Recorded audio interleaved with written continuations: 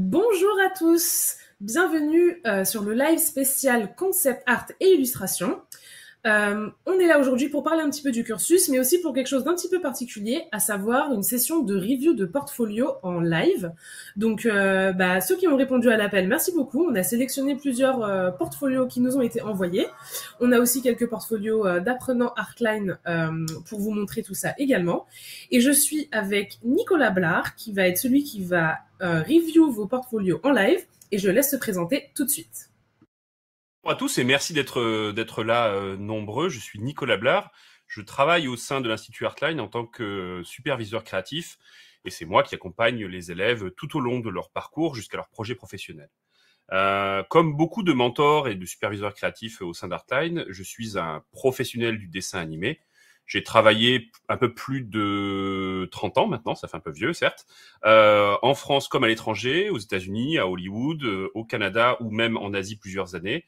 Euh, sur des séries télé, des longs métrages et des jeux vidéo. Euh, la première série que j'ai faite, c'est une série que peut-être vous avez regardé ou vos parents ont regardé, ça s'appelait Les Razmoquettes. Euh, j'ai travaillé sur des jeux, euh, sur des cinématiques de jeux pour Ubisoft. J'ai travaillé pour Azubo. Euh, j'ai travaillé pour Pixar. J'ai travaillé sur deux longs métrages. Et voilà. Et je suis aussi membre de l'Académie des Césars puisque je suis très impliqué dans le développement de films. Aujourd'hui, ce qu'on va faire, c'est qu'on va parler un petit peu de portfolio. Le portfolio, c'est super important. Vous êtes euh, des artistes en devenir. Si vous êtes venu aujourd'hui nous voir, c'est que vous souhaitez en vivre et donc intégrer une école qui va vous former à devenir un futur artiste. Et, nous, et en tout cas, si vous venez chez nous, on va vous aider à le devenir en fait. Euh, vous le savez, Artline, vous pouvez rentrer en fait euh, avec un niveau de dessin très différent. Il y en a qui ont déjà dessiné, d'autres qui n'ont pas beaucoup dessiné, donc les niveaux sont très différents. Et forcément, ça va demander beaucoup de travail. On vous a demandé, euh, justement pour vous donner un petit peu une idée, euh, de nous envoyer euh, des portfolios et certains d'entre vous ont joué le jeu et nous ont envoyé des portfolios. Donc on va regarder ça et j'ai à peu près une quarantaine de minutes à passer avec vous pendant lesquelles je vais regarder et vous donner des conseils là-dessus. Donc bah, sans attendre, on va on va s'y lancer. Premier mot d'introduction, un portfolio, c'est souvent par rapport à ce que l'on veut faire je, suppose que les personnes qui m'ont proposé leur portfolio sont présentes, donc il faudra qu'elles se signalent. Euh, je vais commencer par Kevin Lasselle, si je prononce bien le nom. Euh, il est important que je connaisse en fait leur euh, projet euh, professionnel. Vous êtes ici dans le cadre du CAI. Alors qu'est-ce que ça veut dire? C'est Concept Art Illustration. Ça veut dire que ça va vous amener à travailler aussi bien pour le jeu vidéo que pour le dessin animé par exemple, ou même euh, un illustrateur. Donc c'est avant tout du dessin. Allez, c'est parti. Je vais, je vais, euh, je vais commencer à regarder ça. Hop. Et donc, on va commencer. Oui. J'ai oublié de vous dire euh, que vous pouvez poser toutes vos questions euh, avec la petite boîte euh, Posez une question qui est juste en dessous de l'écran. Donc si vous voulez interagir avec ce que vous voyez, poser des questions, si c'est votre portfolio aussi qu'on est en train de regarder, vous pouvez. Euh, et puis si vous avez des questions plus générales, on fera aussi une petite session questions-réponses à la fin. Donc n'hésitez surtout pas à interagir via la box. Je te laisse la place, Nico. Jade. Donc je reprends. Vous le savez, je l'ai dit juste avant. Hein, le CAI, c'est avant tout un cursus de dessin. Je le rappelle, trois années, c'est-à-dire bachelor 1, 2, 3, et puis après un master, euh, donc deux années supplémentaires pour travailler en tant que designer. Euh, alors vous pourrez faire euh, caractère artiste par exemple, c'est-à-dire créer des personnages, la direction artistique, le design des props. Les props, c'est tout ce qui est véhicule, armes. On peut aussi être spécialisé dans les décors. Vraiment, c'est assez large. On a aussi ouvert notre formation au storyboard. Je, je, viendrai en parler si jamais il y a des questions là-dessus. Donc, comme le dit Jade, N'hésitez pas à, à m'interrompre, en fait, à poser des questions sur ce que je vais montrer. Je vais donner mon avis. Ici, euh, le but, c'est pas du tout de, de, de, critiquer un dessin, en fait, mais c'est d'amener un œil professionnel sur le dessin. Et surtout, bah, pour les personnes qui ont proposé euh, leur portfolio euh, pour que je puisse faire un review, euh, leur donner des pistes pour euh, d'amélioration. Voilà. Alors là, ici, je vois un croquis. Alors déjà, ça, c'est un truc qui est obligatoire hein, chez nous. Hein. Si, si vous voulez venir en CAI, il faut dessiner. Si vous avez jamais dessiné avant, il va falloir s'y mettre. Et moi, ce que je conseille généralement aux élèves, c'est de dessiner tous les jours. Le dessin, c'est une pratique qui se fait tous les jours. Et c'est en pratiquant régulièrement que l'on va s'avancer. Vous aurez bien évidemment vos cours chez Artline, mais euh, ce qu'on va vous demander aussi, et ça c'est votre, votre travail personnel que vous devez amener chez nous, c'est par exemple de faire des croquis d'observation. Croquis d'observation, c'est je prends un stylo, je prends un cahier, je vais dehors et je dessine ce que je vois. Beaucoup de gens vont prendre des références depuis Internet, ce qui est très bien, on peut chercher des modèles et dessiner à partir de ça. Mais quand vous dessinez à partir d'une image que vous avez trouvée sur votre ordinateur, vous ne faites pas l'analyse. C'est-à-dire que quand vous voyez une image 2D sur votre ordinateur, vous retranscrivez une image 2D et donc vous dessinez grosso modo en 2D, donc des surfaces. Nous, ce qu'on veut vous amener à faire, c'est faire une analyse et comprendre les volumes et donc passer de la 3D que vous voyez à un dessin 2D. Et donc ça, c'est, ça demande une compréhension des volumes. Quand je vais regarder une rue avec une voiture et, et un mobilier urbain juste devant, je vais peut-être bouger un petit peu à droite à gauche, je vais voir qu'il y aura des perspectives et je devrais les transcrire. Voilà qui est dit pour les croquis. Là, je vois euh, que Kevin euh, a fait en fait un dessin. Euh, il est parti visiblement, je suppose, d'une observation d'une lampe et il a poussé le dessin pour aller un petit peu plus loin. C'est intéressant. Je pense qu'il a joué avec l'ombre que la lampe projetait en fait sur le mur qui est derrière et c'est plutôt un très bon exercice. Hein. là, ce que je vois sur ce dessin-là, c'est que finalement, il y a une succession de zones. On voit un arbre d'un côté, une ombre qui est plutôt bien traitée, une lampe, et puis on voit une espèce de drapé, un chemin, et ainsi de suite. À la lecture de l'image, ce que l'on voit en premier, c'est la lampe. En fait, on se dit, oh tiens, qu'est-ce que c'est? Puis on, croit voir des lianes, on comprend pas trop. Et du coup, en fait, on a un petit problème de lecture sur ce dessin-là, parce qu'en fait, on n'a pas, euh, en fait, l'œil ne sait pas où regarder. Les lignes directrices euh, qui sont importantes dans un dessin ou une composition nous amènent un petit peu vers le centre, on comprend. Mais finalement, le centre est assez vide, puisque c'est le socle de la lampe. On voit des masses noires et foncées de chaque côté, donc ça va attirer notre œil. Et finalement, on a un petit peu de mal à comprendre l'image. Quand on conçoit une image, quand on conçoit euh, une illustration, là c'est le cas, une illustration, la différence avec une image ou un croquis d'observation, c'est qu'on a une notion d'histoire. On veut raconter quelque chose, c'est ce que nous on appelle du storytelling, c'est-à-dire qu'est-ce qu'elle leur raconte l'image. Et en fait, il faut mettre une hiérarchie. Et là, par exemple, je vois qu'il y a un élément qui est très foncé en bas. Je vois une barrière. Je vois un drapé et j'arrive pas à faire la connexion. Et puis mon œil est attiré par l'ombre de l'arbre qui est très foncé. Finalement, les valeurs de gris qu'il y a dans ce dessin-là me permettent pas de hiérarchiser les informations. Ce que l'on fait généralement dans un croquis, dans une illustration, ou même au cinéma, vous le voyez, et dans la vraie vie, vous le voyez aussi, c'est qu'il y a ce que l'on appelle un phénomène de perspective aérienne. Grosso modo, vous montez en haut d'un bâtiment ou d'une falaise, attention de ne pas vous blesser, vous regardez au loin et vous verrez que les éléments qui sont au loin sont plus fades, moins détaillés et généralement bleutés. Pourquoi bleutés En fait, parce que entre votre œil et l'objet que vous regardez au loin, il y a une masse d'air. Et cette masse d'air, eh ben, elle va atténuer les détails et elle va teinter les choses en bleu. Regardez, vous cherchez sur Google, vous tapez forêt perspective ou euh, je sais pas château et vous verrez en fait que derrière ça se perd. Dans le noir et blanc et dans le dessin, on peut le traduire ça. Et généralement, on a tendance à mettre les éléments qui sont le plus proches de vous plus foncés et les éléments qui sont au loin plus clairs, ce qui permet de donner un peu de profondeur. Donc ça, c'est l'importance de la perspective aérienne. Allez, je vais continuer. On va regarder un petit peu tout ça. Là, c'est plutôt une illustration. J'avais regardé rapidement. Je découvre en même temps. C'est intéressant. Ce que je trouve intéressant, c'est le traitement. Euh, il y a euh, un souci en fait d'amener du graphisme avec la ligne je suis pas trop sûr de savoir exactement ce que cela représente. À première abord, euh, il m'a semblé comprendre que c'était un œil, mais en fait, je sais pas. Je le trouve intéressant ce dessin-là parce que ça montre une recherche de qualité de trait. ça, la qualité de trait, bah, c'est assez important. Hein, on le voit. Je sens aussi, et ça c'est pas mal, qu'il y a une différence de matière. Vous le voyez bien dans le rendu, la graphique qu'il y a, c'est que l'espèce de noyau œil qui est au centre semble beaucoup plus lisse. Euh, vous voyez que la réflexion de lumière est beaucoup plus nette ce qui indique que la surface est lisse et brillante. Et on a une espèce de matière fibreuse autour, euh, qui est intéressante, qui est une espèce de poil ou de cheveux, je ne sais pas trop. Mais en tout cas, ça, je trouve que c'est intéressant dans un portfolio parce que ça montre euh, qu'avec un seul outil, il semblerait, hein, d'après la qualité de l'image que je peux voir, on peut obtenir différents traitements. Ça aussi, chez Artline, c'est quelque chose que l'on va vous parler et vous allez vous entraîner à le faire.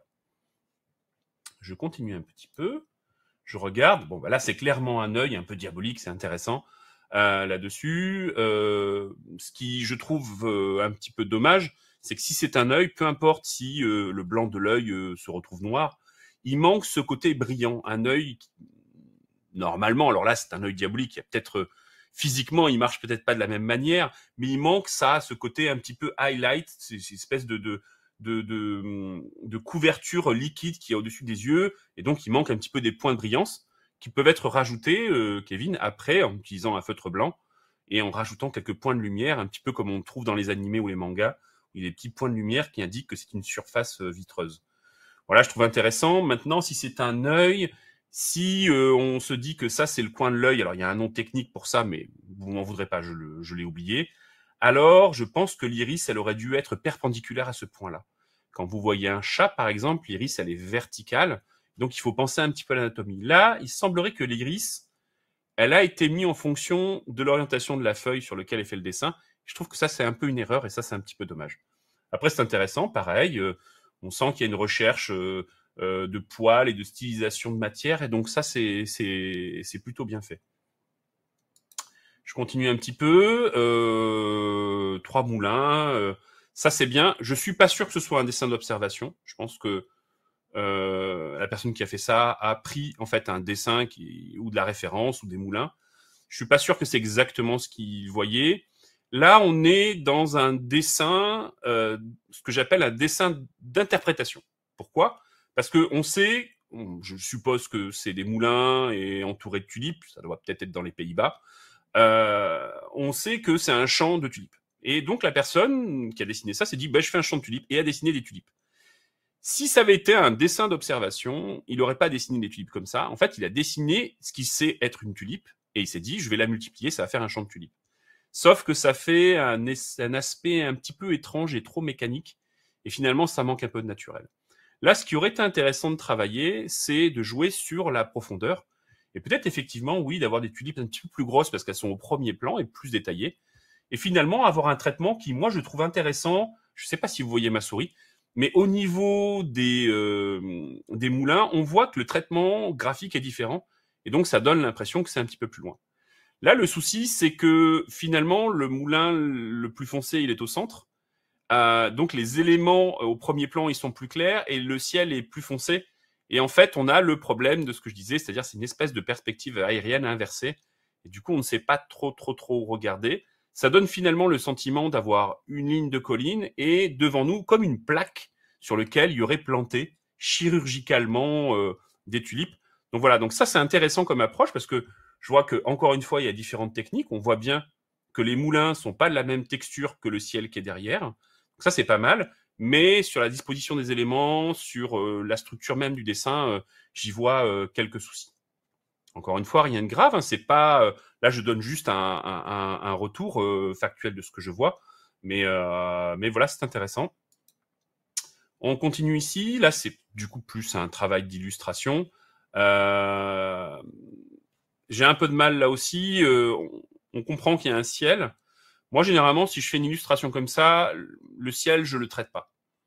Euh, je vais traiter ce qu'il y a dans le ciel. S'il y a un nuage, je vais les montrer en mettant un peu l'ombre du nuage et jouer avec les ombres et les lumières.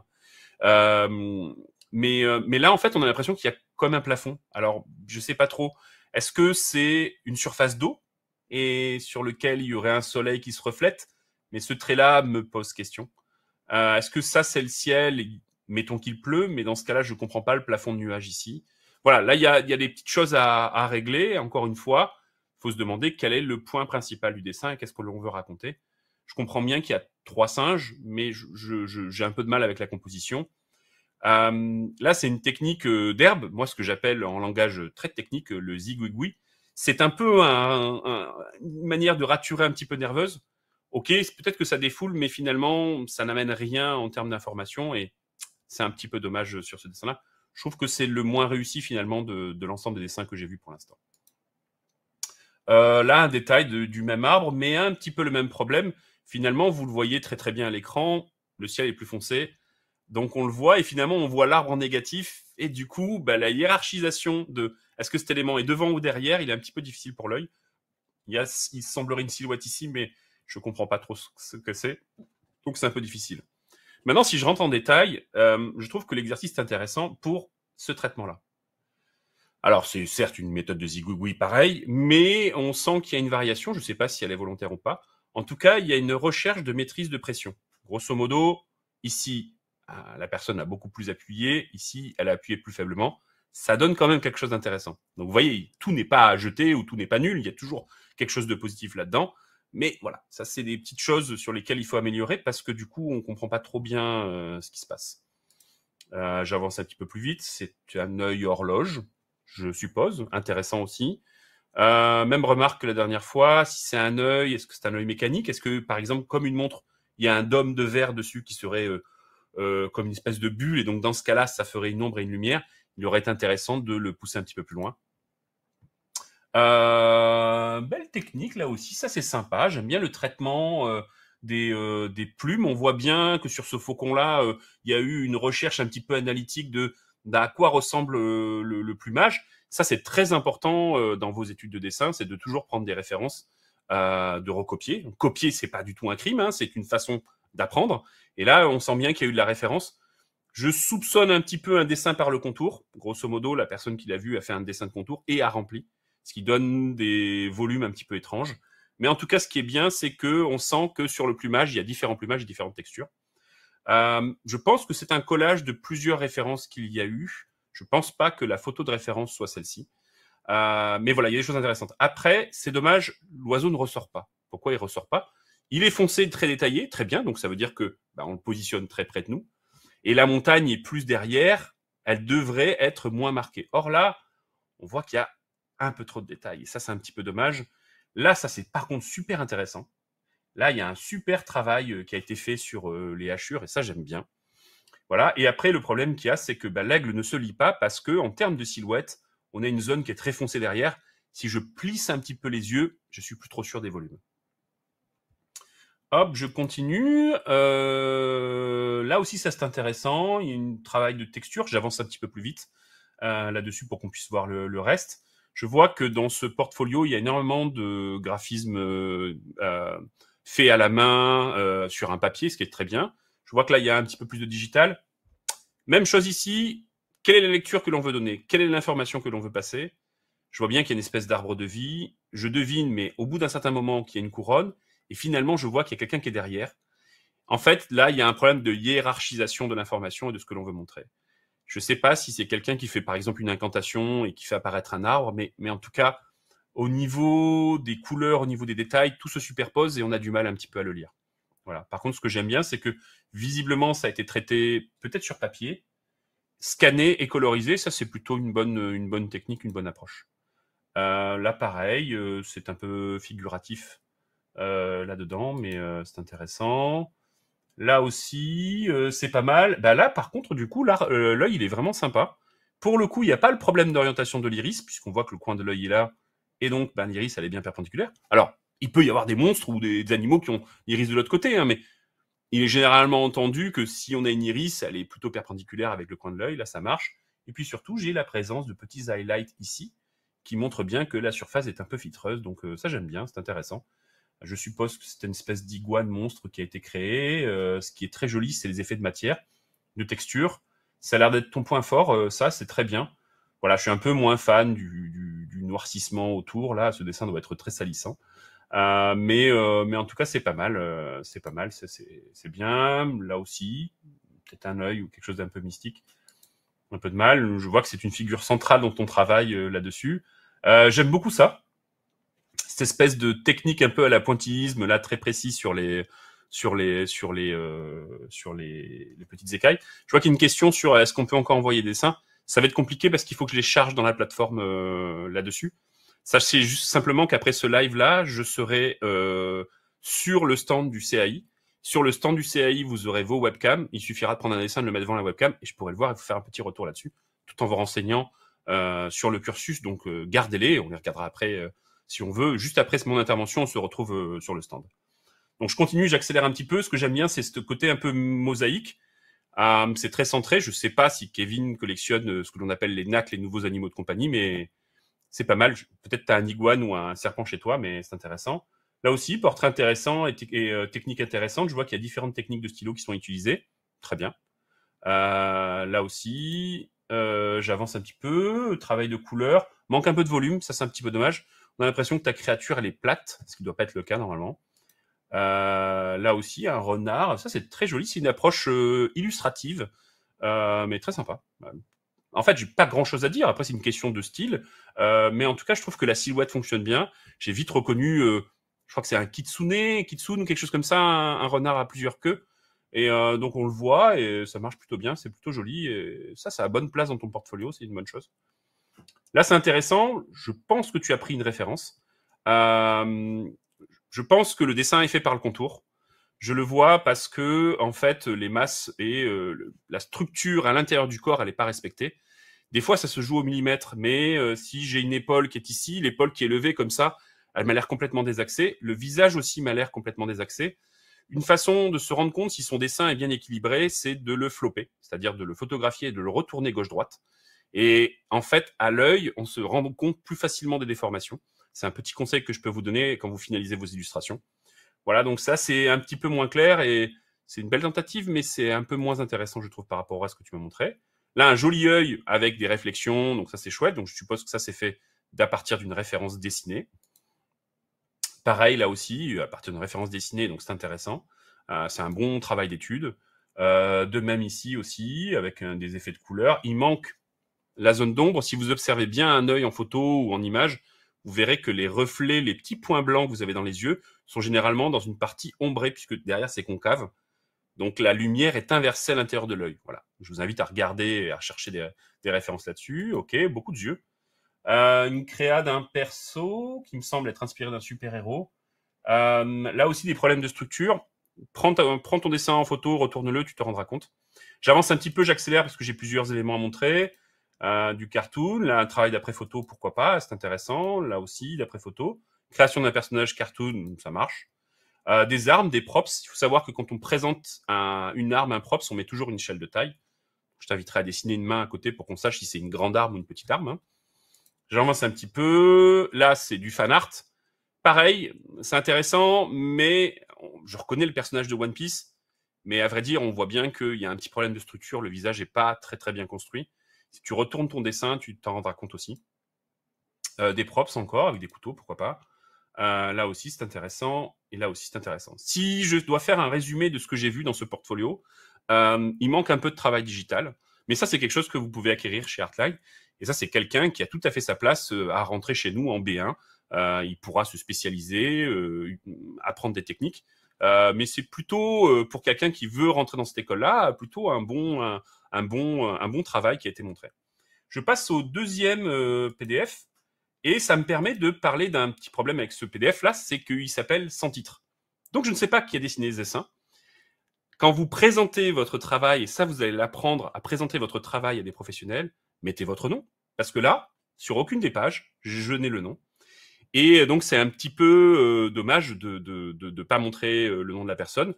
En tout cas, je vais, je m'y attarder. Je trouve que c'est intéressant. Il y a différentes techniques qui sont montrées, beaucoup de travaux de couleurs, donc ça, c'est pas mal. Je reconnais euh, des personnages, il me semble que ça doit être peut-être un fan art ou de Ernest et Célestine, cette petite souris qui est dans le coin. Voilà, il y a des choses intéressantes. Je trouve qu'il y a un travail intéressant sur le personnage, la jeune femme de profil et sur le travail des cheveux.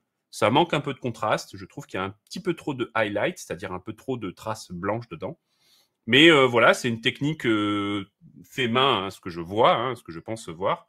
Voilà, donc il y, a des choses intéressantes là-dessus. Et là, c'est un travail qui est beaucoup plus graphique, mais qui est important aussi. Et euh, ça marche plutôt pas mal. Ces petits logotypes, c'est intéressant. Je vais passer à un troisième, parce qu'il me reste à peu près une vingtaine de minutes, donc j'accélère un tout petit peu, histoire qu'on ait le temps de répondre aux questions. Là, on est plus dans une présentation, dans une présentation d'un book euh, professionnel, ce que l'on attend généralement des élèves qui vont sortir.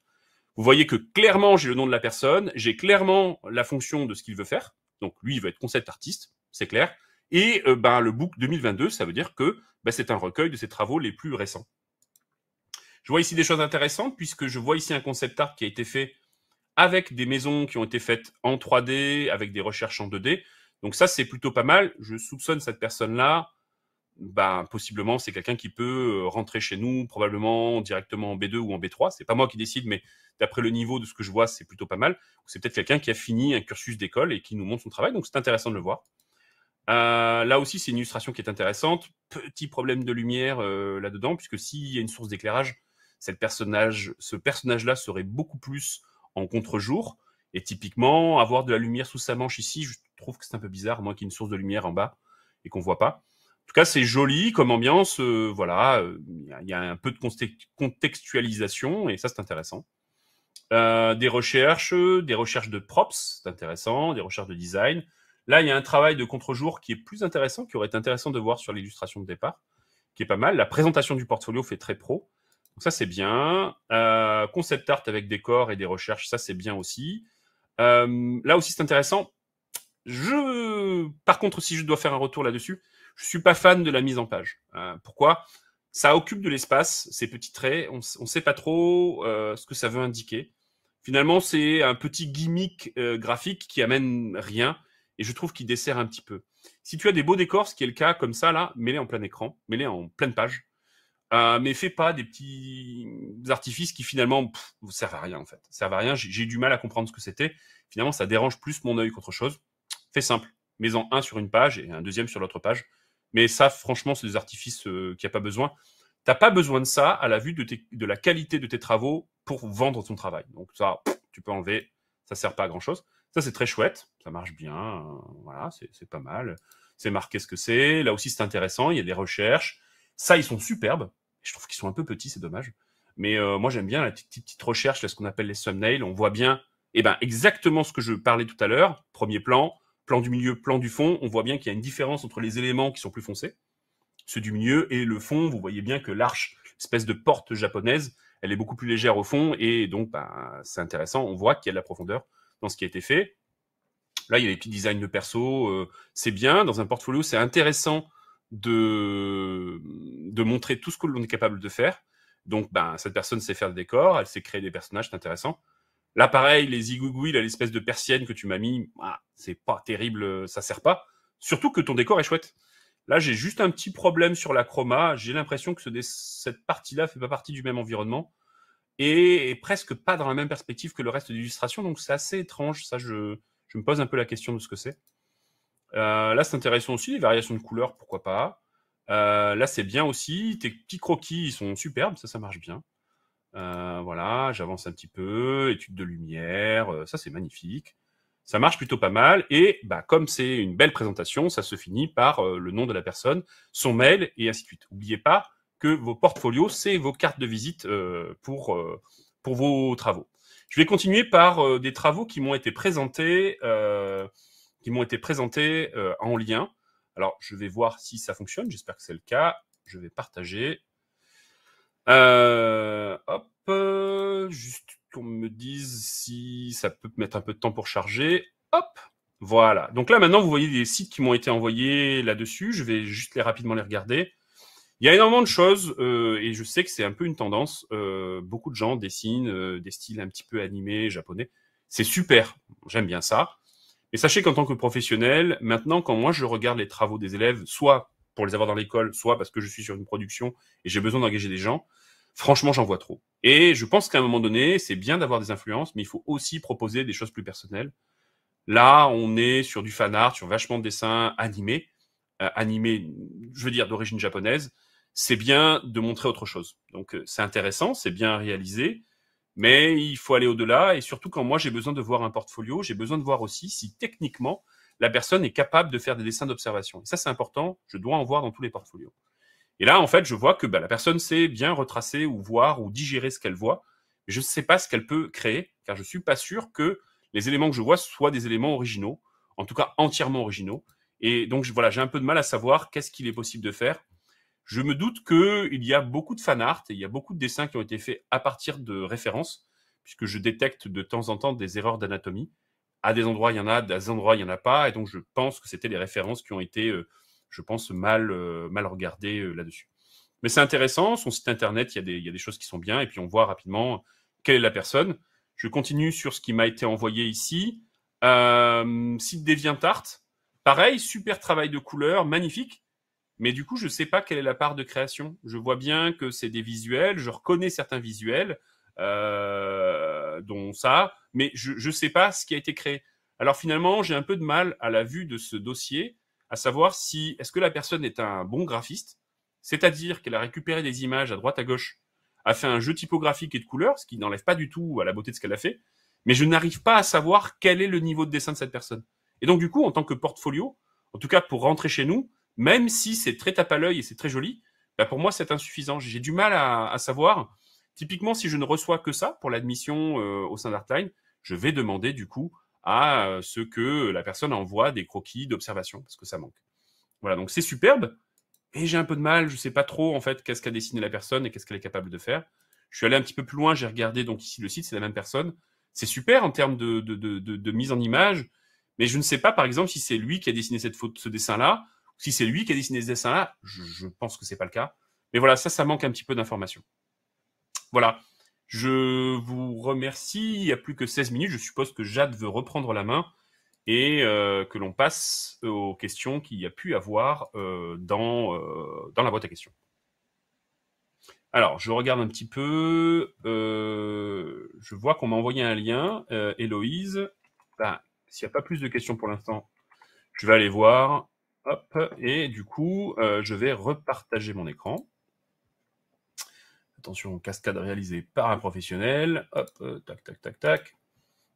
ArtStation. ArtStation, je trouve que c'est une bonne plateforme pour montrer son, travail. Plus que DeviantArt, qui, euh, je trouve, est compliqué parce que euh, si on n'est pas lié à DeviantArt, à un moment donné, euh, on nous demande de nous loguer. Et pour un professionnel, c'est toujours un peu embêtant de devoir mettre des mots de passe ou c'est tout. Moi, ce que je conseille, si vous voulez montrer votre travail à un, professionnel, un PDF, c'est bien, mais toutes les entreprises ne peuvent pas recevoir des PDF. Donc, ArtStation, c'est très bien. Instagram, c'est très bien aussi. Voilà. Donc là, je vois aussi, c'est très bien. Euh, portfolio, pareil. Alors, c'est plus qu'évident que c'est un portfolio, donc est-ce que c'est vraiment utile? Je suis pas sûr. Euh, il y a marqué son nom et il y a marqué ce qu'elle est. Et ça, c'est important. Souvent, les gens, ils oublient. Des fois, ils mettent le nom de leur classe, mais en tant que professionnel, moi, le nom de la classe, euh, ça m'apporte peu. Et je vois, c'est plutôt bien fait. Il y a une charte graphique, c'est charté, très agréable à regarder. Je vois qu'il y a marqué ce qu'elle veut faire et il a marqué le contenu. Donc ça, pour moi, c'est une présentation très professionnelle d'un portfolio. Ça, c'est plutôt pas mal. Il y a un sommaire, donc pourquoi pas, ok. Mais ça fait quand même deux pages à travers je scroll. Ah, une troisième page à travers, à travers laquelle je suis obligé de scroller. N'oubliez pas qu'un professionnel qui va regarder, il veut rapidement voir ce qu'il veut. Là, bon, j'ai toujours pas d'informations. Là, j'ai des informations, beaucoup de texte, un design, c'est intéressant, mais finalement, qu'est-ce qu'on veut montrer? Ce qui compte, c'est pas euh, bande dessinée, création, quoi que ce soit. Ce qui, monte, ce qui compte, c'est les artworks qui sont là. Et finalement, la présentation est très belle, elle est très plaisante à l'œil, mais finalement, est-ce qu'elle montre vraiment, est-ce qu'elle met vraiment en valeur les travaux qui sont présentés? Pas trop. Ça, c'est dommage. Donc, je continue un petit peu parce que je vois qu'il y a des questions qui ont, été mises en place. Il y a des choses qui sont superbes. Ça, c'est vraiment super beau. Euh, bah, ça devrait être en plus grand. Scénario, ok, c'est intéressant, mais il y a trop de travaux là-dedans. Et du coup, j'ai un peu de mal, je m'y perds un petit peu. Euh, projet scolaire, pourquoi pas? Tout ce texte-là, c'est peut-être pas forcément utile. En fait, c'est une question d'équilibre. C'est un bon cocktail. Euh, mettez jamais plus d'un tiers de texte en termes de contenu dans votre page. Laissez vraiment la place au design. Là, c'est bien. J'ai différents designs, c'est chouette. C'est un très bon niveau d'ailleurs hein, d'illustration. Là aussi, packaging. Mais est-ce que vraiment je vais lire tout ça? Pas vraiment. Donc, euh, c'est peut-être pas intéressant. là, ça c'est bien aussi. Donc, c'est un profil plutôt de graphiste. Là aussi, c'est bien aussi. Trop de texte selon moi. Hein. Mais encore une fois, un autre professionnel vous dirait peut-être autre chose. Hein. Euh, là, c'est intéressant aussi, joli travail de graphisme. Euh, c'est superbe d'ailleurs, ça. Pas mal, pas mal, Héloïse, vraiment joli. Voilà, projet réalisé, donc ça fait beaucoup de pages, euh, encore une fois. Là encore, bah, en fait, si vous voulez, ça c'est un book très graphiste. Un book de concept artiste, il y aurait les dessins full screen. Et il faut choisir ce que l'on montre. Est-ce qu'on va vraiment tout montrer? Là, si vous voulez, j'arrive à un moment donné où je commence à me lasser un petit peu. Je me dis, bon, ah, j'ai 10 dossiers à regarder, euh, j'ai beaucoup de choses à faire, il faut faire des choix. Et là, si vous voulez le montrer pour être concept artiste, il y a beaucoup de choses qui sont inutiles. Même si elles sont chouettes, il faut faire un choix. Voilà, là par exemple, ça amène pas à grand chose. Il y a un lien vers une vidéo, mais il n'est pas actif, donc ça c'est un peu dommage. Je pense que sur un PDF, vous pouvez le rendre actif. Donc je descends, je descends, je descends, je descends. Tous ces dessins-là, là, les personnages que vous avez faits sur l'équipe de France, c'est des choses qui mériteraient d'être plein de pages. Je pense que votre, euh, votre euh, portfolio, ça c'est superbe. Il faudrait que ce soit euh, deux illustrations par page. Là, vous m'en avez mis huit. Dommage. ça aussi, c'est superbe. Bah, ça devrait être en pleine page. Bah là aussi. En fait, il y a des super trucs, mais c'est à la fin. Vous imaginez si je regarde ça et que finalement je trouve, je me lasse un petit peu, bah je serais pas arrivé. à la fin de la page, quoi, il y a 54 pages? Non, ah oui, il y en a 54. C'est beaucoup trop. C'est beaucoup trop et c'est dommage parce que ben on va pas les lire. Allez, on va passer euh, maintenant. J'ai eu un signal. Euh, on va passer maintenant aux questions. Je vois qu'il y a quelques questions qui ont été euh, posées. Sachez que si vous avez d'autres questions, ben vous pouvez toujours me parler. On ira dans le stand CAI, concept art illustration, et j'y répondrai. Donc première question peut-on intégrer un studio comics comme DC ou Marvel avec un CAI ou quels seraient les métiers associés à ces studios dans l'illustration? Alors oui, on peut tout à fait. D'ailleurs, chez Artline, en CAI, nous avons eu des intervenants, des mentors qui travaillaient chez Marvel, qui travaillaient chez DC, euh, des gens qui sont spécialisés dans les couvertures et euh, voilà qui ont un profil un peu plus d'illustration. Mais effectivement, euh, le CAI, donc concept art illustration, vous amènera à travailler comme un professionnel et à rendre un travail professionnel et donc vous pourrez espérer rentrer là-dedans. Rentrer chez Artline ou dans n'importe quelle autre école, ça ne vous garantit pas de travailler pour DC ou Marvel. Ce qui va garantir que vous travaillez pour DC ou Marvel, c'est votre travail personnel. C'est-à-dire que nous, on vous donne les clés pour pouvoir travailler et avancer vers un niveau professionnel, mais vous devez fournir la plus grande partie du travail. Ça va pas se faire tout seul, et donc ça va demander du temps. Il va falloir que vous aménagiez vos semaines pour pouvoir travailler et avoir assez de temps pour dessiner. Donc ça, c'est important. Travaux manuscrits que vous diffusez s'intègrent dans quelle formation? Euh, Je ne comprends pas ce que c'est que les travaux manuscrits. Vous avez vu des écrits, c'est ça? Je suis pas trop sûr de comprendre euh, la question de. Euh, c'était la première partie, donc la question est arrivée un petit peu au début. Euh, il demandait dans quelle dans quelle formation en fait s'intégrer les premiers dessins, mais je t'avais mis cette question pour si jamais tu voulais montrer des exemples un petit peu de ce que font nos apprenants aussi, pour qu'ils puissent se faire une idée de ce qui est fait dans notre formation concept art justement. Alors, je je pense pas le temps de les remontrer, mais j'en reparlerai dans le stand du, du CAI. Euh, J'essaierai de vous montrer les travaux de nos apprenants euh, en partageant mon écran, il n'y aura pas de problème. Je vais avancer du coup sur les questions. Je suis pas trop sûr d'avoir compris euh, manuscrit la, question. Euh, hello, je pose une question peut-être évidente, mais est-ce que l'école propose de l'alternance? Non, c'est une question certes évidente, mais à laquelle on va répondre. Effectivement, en fait, vous pouvez faire en fait votre B3, donc votre troisième année de bachelor et votre master en alternance. Euh, c'est à vous de trouver l'alternance. En tout cas, l'école, elle, elle vous aide à mettre en place cette alternance, mais la démarche de l'alternance, c'est quelque chose que vous devez faire. On ne conseille pas l'alternance en, bachelor 1 et en bachelor 2 parce que vous devez euh, passer beaucoup de temps à engranger euh, des compétences. Et de toute façon, c'est rare, voire quasi jamais, que des entreprises choisissent de prendre des bachelor 1 ou des bachelor 2 en alternance. Cependant, si vous voulez faire un stage l'été ou quoi que ce soit, vous pouvez vous rapprocher des entreprises. Nous avons quelqu'un au sein de Artline euh, qui s'occupe euh, des relations entreprises et elle pourra vous guider euh, là-dedans. Mais voilà, et effectivement, nos cursus sont prévus pour des alternances. grosso modo, si vous arrivez à avoir une alternance pour votre Bachelor 3, votre Master 1 ou votre Master 2, vous êtes les trois premiers jours de la semaine en entreprise et les deux derniers jours, vous êtes au sein de l'école. Voilà, pour répondre à cette question. Et l'autre question que je vois, bonjour, quel conseil pouvez-vous donner à une personne qui n'a aucune formation en dessin et qui veut se lancer chez Artline Est-il possible d'apprendre un dessin à partir de zéro avec la prépa? Oui, mais pas seulement. C'est ce que j'ai dit tout à l'heure. La prépa, ça va vous donner les clés, on va vous donner des cours, vous allez avoir des conseils de professionnels, mais avant tout, c'est vous qui devez dessiner, c'est vous qui devez travailler. S'arrêter juste aux cours qui sont dispensés à Artline, c'est insuffisant. Il faut vraiment dessiner. De toute façon, si vous voulez en faire, si c'est votre passion et que vous voulez en faire votre métier, il faut vous en donner les moyens. La première chose à faire, et si vous souhaitez rentrer chez Artline, bienvenue. C'est la seule école qui propose en fait de rentrer dans un cursus de dessin, même si on a un niveau de dessin qui est proche de zéro, ce qui semble être le cas. Dans ce cas-là, vous vous inscrivez et je vous conseille, mais dès cet après-midi, de vous acheter du matériel de dessin et de dessiner ce que vous voyez c'est certain que les premiers dessins que vous allez faire seront horribles. C'est pas grave, ça fait partie du processus d'apprentissage. Les premiers dessins sont pas super, et au fur et à mesure qu'on pratique, on s'améliore. D'accord? Donc, euh, bienvenue si vous voulez venir. Bien sûr, c'est vous allez voir. Si les autres écoles, vous allez voir que vous allez avoir un concours d'entrée et vous ne vous pourrez pas y rentrer. Nous, ce qu'on propose, c'est un accompagnement et vous amener vers un niveau professionnel junior. Mais ça demande du travail. Si vous êtes prêt à le faire, venez.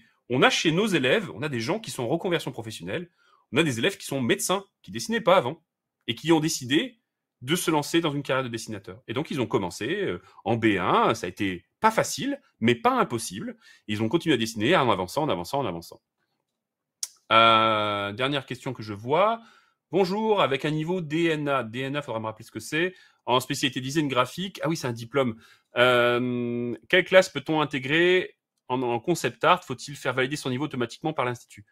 En fait, oui, quand vous allez euh, rentrer euh, à l'Institut Artline, on peut rentrer chez Artline directement en B2 ou en B3. C'est tout à fait possible. Mais pour ça, en fait, il faut montrer des capacités. Il faut montrer que ce que vous apprenez en B1 ou en B2, c'est des choses qui sont déjà acquises. Par exemple, vous êtes capable de faire des croquis d'observation ou bah, vous êtes capable, vous avez déjà manipulé de la 3D. Alors, il est possible, je dis bien possible, mais pas automatique, de rentrer en B2 ou en B3. Donc voilà, en fait, votre dossier, il est analysé, il est regardé. Voilà. Et si on estime que vous n'avez pas le niveau, évidemment, on vous demandera d'acquérir ces, bases. Et ces bases, ben, le Bachelor 1 est fait pour ça. Voilà, je crois que j'ai fait le tour un petit peu. Euh, et je crois que dans le temps, on n'est pas trop mal. Parfait, merci beaucoup Nico euh, pour tous ces éléments. Comme on vous l'a dit, vous pouvez le retrouver euh, sur le stand dédié au concept art illustration dans le salon d'exposition. Euh, notez que les salles euh, où vous pourrez discuter avec Nico sont limitées en personnes, vous pourrez être 35 maximum. Si la salle est pleine, ne vous inquiétez pas, baladez-vous sur le stand. Il y a une vidéo de présentation de cursus disponible, il y a des personnes avec qui chatter et vous pourrez ensuite retrouver Nico un petit peu plus tard dans le chat en live. Voilà pour nous. merci beaucoup Nico. Merci à vous. À vous tous. On se retrouve euh, donc tout de suite dans l'auditorium pour les personnes qui sont intéressées par le cursus design graphique. Bonne journée